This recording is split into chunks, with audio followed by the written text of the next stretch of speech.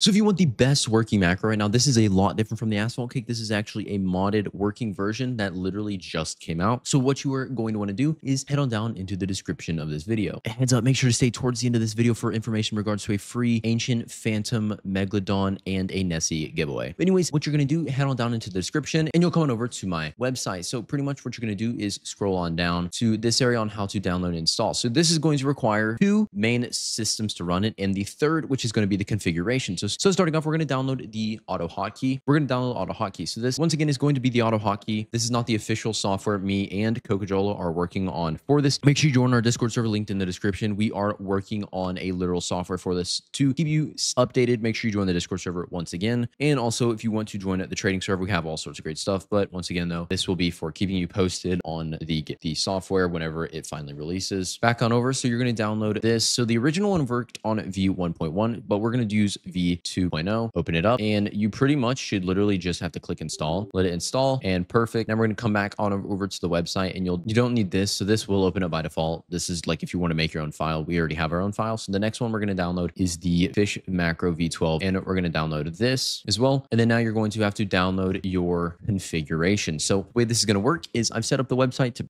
hopefully be the most accessible. So these are all of the rods. The, pretty much the way these configurations are going to work is the rods with resembling control. So if you don't know, control is going to be a stat right here. As you see, there's luck, lure speed, and control. So the control is pretty much just how big the bar is going to be when you're fishing with it. So these are going to be all the rods right here. There's also troubleshooting, more information in regards to them. The Discord link right there if you want to join it, if it doesn't work on this description this video. But what you're going to see is going to be, so I'm using the rod of the depths. So this will be a page specifically for the rod of the depths. And on down, you will have the download for the configuration of this. But additionally, you'll have the other rods that relate to this. So if you do have none of the rods that are listed on the main page, they're most likely going to be listed here on these other pages inside of it. So make sure you check these out. And so we're going to come on down to get the correct configuration file for the rod of the depths, which will be right here. And pretty much this will be a media file once again, but this is going to be an any. So it probably will be set to unverified, just verify. It's completely trusted and any file is pretty much just text. And if you are skeptical of this, once again, this AutoHotkey, this is just text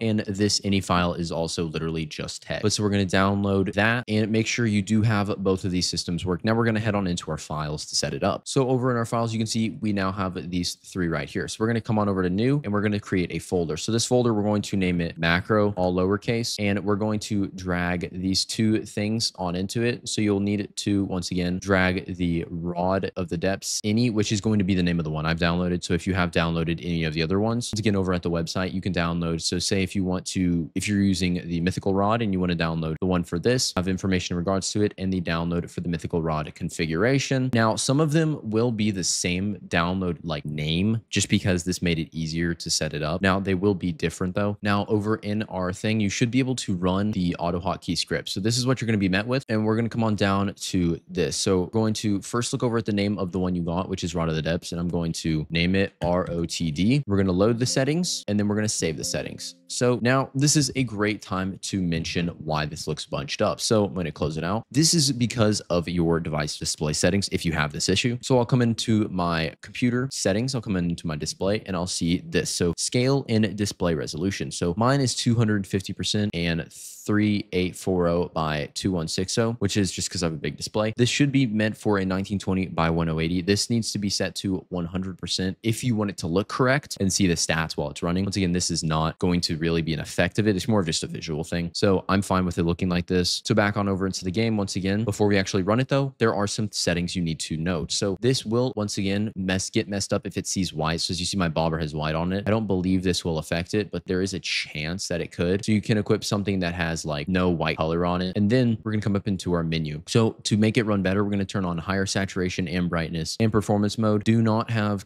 cab cages enabled because what's going to happen is if it's another person's crab cage, it'll have like white text on it. That'll just mess it up. So make sure you have that disabled. And then we're going to come into our actual Roblox settings. Now what's going to happen is you're going to come on down. So what you should see is this. You're going to need to note your graphics quality and your, your UI navigation. So graphics quality will automatically be set down with this macro just so there's not not much happening on your device while it's running. And the second thing is going to be the UI navigation. So this has to be on first off. And secondly, another thing that I have noticed with some people is it's actually a bug. It'll be the hashtag key. Now there is a way to fix this and I'll have a um, Roblox dev forum linked in the description of this video. If this is an issue, this is how you can fix it. Go visit that. That once again be in the description of this video. But so with all that aside, we should be able to run the Mac. So come back into my folder, open it up. It'll look bunched up. But once again, ROTD, save settings. Okay. And or load settings and then save settings, start macro, come on over into Roblox. Now to position your character to set this up correctly, you're going to walk up to the water, hold out your rod. And what should happen is it'll come over, click menu to darken the screen and then camera mode to just hide everything. And so I'm going to look down, click P. Now I do have hasty, so I don't know how that'll affect it. So as you see, it goes over, clicks the camera. I'm once again not touching my screen at all. This will work for the rod of the depth just because of the control. And as you see, this is completely working as of right now. Perfect macro. You can completely AFK with this. Once again, O to reload it since there are no actual start stop keybinds. And if you want to win the free giveaway for the Ancient Megalodon, Phantom Megalodon, or the Nessie, I will be hosting this to the winner. All you got to do to enter is like and subscribe, comment your username down below to enter into this giveaway. And once again, all you got to do is like and subscribe, comment your username down below to enter into the giveaway. I'll be giving out multiple of these, so you will have a way better chance of winning them in any of my last ones. But if this video did help you out, make sure to leave a like and I'll see you on the next one.